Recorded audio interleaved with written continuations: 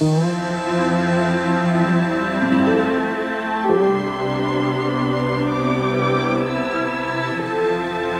Mitsubishi Lancer was designed and built in Japan. Three times, it has been voted the most reliable small car by the Germans.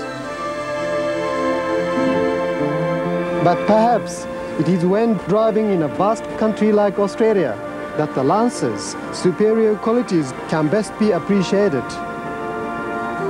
The Mitsubishi Lancer.